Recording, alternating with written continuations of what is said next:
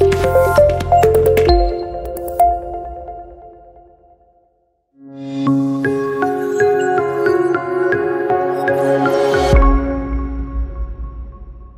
you, Dr. Evans. Thank you for your leadership this last year and over the last decade. As San Diegans, we know a lot about the ocean. More than just our favorite beach, we know the difference between the surface of the water, the light chop described in the surf report, and the deep ocean currents that actually make the weather. It's those currents that slowly guide each of our days. And for the past decade, Dr. John Lee Evans has been a strong current within the ocean of public education, moving our schools inexorably towards equity, unconcerned by the waves on the surface. This insistence on equity is his legacy, and it's up to all of us to treasure that. I know I will. Since the start of the COVID 19 crisis, San Diego Unified has distributed 8 million free meals, 80,000 computers, and countless hours of online education. Our workers have made heroic sacrifices to feed the hungry, put technology in every home, and give every student access to his or her education.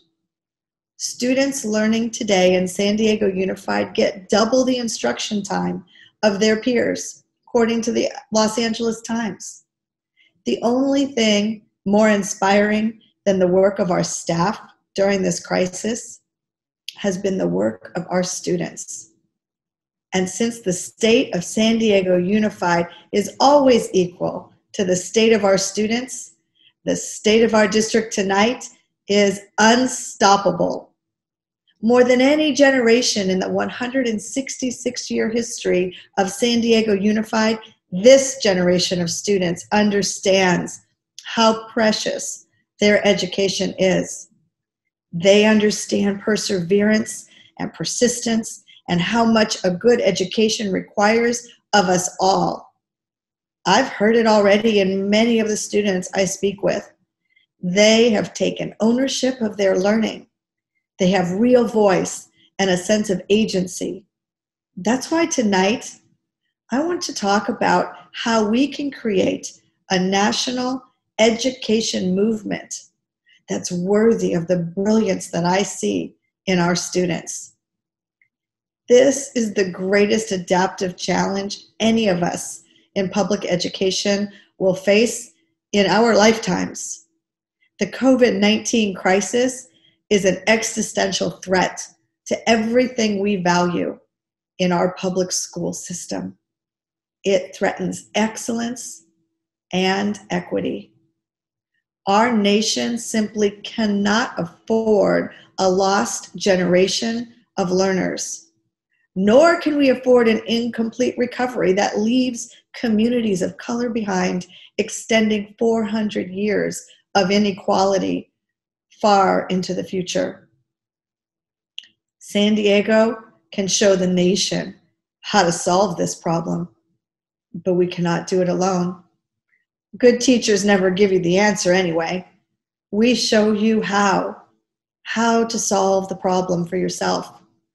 And a problem of this size is going to take all of us working together. So let's get started. San Diego Unified, as you know, serves some 100,000 students from preschool through high school. A majority of our students are students of color, including sizable immigrant and refugee populations. Most of our students come from low income families. We also have the honor of serving thousands of students from military families. In many ways, we are a typically American district, but our students have been accomplishing some extraordinary things that are not typical. The Council of Great City Schools called San Diego Unified one of the fastest improving districts in the nation, because our students have repeatedly outperformed their peers in math and reading on national assessments.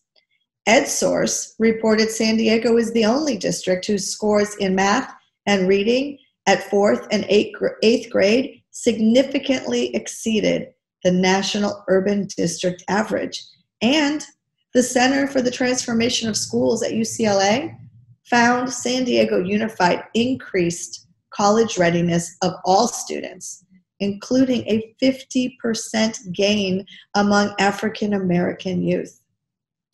At the same time, the number of college courses completed by our students before high school graduation has nearly doubled in the last three years to 10,693. You can see why I called our students unstoppable, right? Of course, credit for these achievements belongs to students themselves.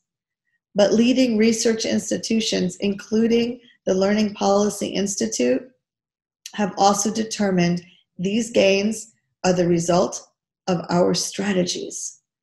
And at the heart of our strategies is our belief in bringing American education back from the current crisis. First, we raised academic standards. We required every graduate to complete the University of California A through G approved courses, which was unheard of at the time in diverse urban districts. Then we made sure every student had access to rigorous coursework, starting with expanding preschool options to detracking of middle school students in math. And in high school, we increased access to advanced placement courses, community college courses, and career technical options. As a sister of a developmentally challenged adult, I'm especially proud of the work we did to expand access for our special education students to athletics, physical education, and general education classroom learning. Of course, students are only half the equation in education, and their success depends on experienced, qualified teachers. When the Learning Policy Institute looked at why students of color in San Diego were outperforming their peers statewide, teachers were an essential element. We invest in our teachers and we focus on professional development. We began the current year with a full week of professional development to help our educators take the craft of teaching online.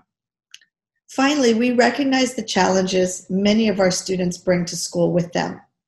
So we've increased support services like counseling and health clinics in our most disadvantaged communities.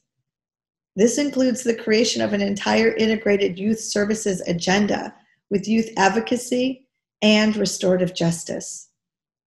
So, what would the San Diego strategy look like at the national level? We have outlined that plan, shared it with the incoming Biden administration, and posted it on our website. We call it the National Response to Persevere and to prioritize school recovery with equity and undoing learning loss. Our plan calls for a robust COVID 19 testing, tracking, and tracing strategy for students and educators. It calls for 350 billion in direct relief to schools to offset lost state revenues and increased operating costs. We call for full funding for the Individuals with Disabilities Education Act, IDEA, and full funding for the Impact Aid program to invest in our military families.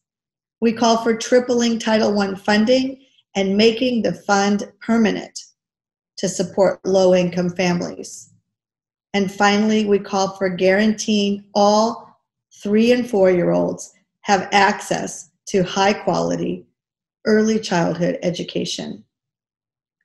We are optimistic the full San Diego plan will receive serious consideration at the national level. But I'd like to highlight two areas in particular this evening.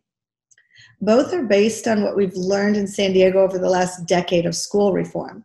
First, equity matters. If we are ever to make progress, closing the achievement and opportunity gaps, in addition to their own hard work, one of the reasons our students of color are outperforming their peers statewide is because of our equitable funding model that puts added resources in schools with higher concentrations of need. In the same way, the federal response to the current education crisis should prioritize low income students, special education students, and students from military families through Title I, the IDEA, and Impact Aid, respectively. The COVID 19 crisis it's taking a disproportionate financial toll on families of color, families that are struggling with income, housing, and food. While more than 30 million workers have filed for unemployment in the past few months, Black, Latino, and Native American communities have been hit the hardest. The children in these families are facing distress and trauma, and schools play a significant role in the delivery of services to address these needs, including providing nutritious meals. School counselors, social workers, and other specialized instructional support personnel must be able to address the emotional burdens and the trauma that many students will be carrying. This fact makes additional funding essential. Second, we have to invest in our teachers. There is a lot of talk in Washington about technology. And while closing the digital divide is important, the help, the way to help our students recover from a year in distance learning is not through more effective distance learning. Our students need their teachers because teachers are the only ones who can provide targeted instruction and customized learning. High quality teaching has been key to our success in San Diego, and that is one of the reasons we are calling for a national teacher corps program to be part of any national recovery effort. As the nation confronts the challenges of learning loss, a well prepared and experienced teacher workforce will contribute towards accelerating learning and recovering from this pandemic. A national teacher corps program will also serve as a way to develop and promote teacher workforce diversity. We ask the next administration to invest in a national teacher corps program. Now, before anyone discards these ideas as unrealistic given the current economic climate, let me remind you that every one of the San Diego strategies for school reform came out of the 2008 financial crisis. Hard times breed clarity of purpose. Once again, we have a clear purpose today. We can create an educational recovery plan that meets the needs of all of our students by focusing on equity. We can accelerate learning and keep students moving forward by investing in strong classroom instruction. We urge the next administration to work with Congress and implement the core elements of the San Diego Plan during the first 100 days. We owe our students nothing less. We will not stop fighting for them.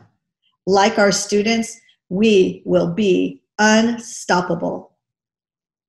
Thank you.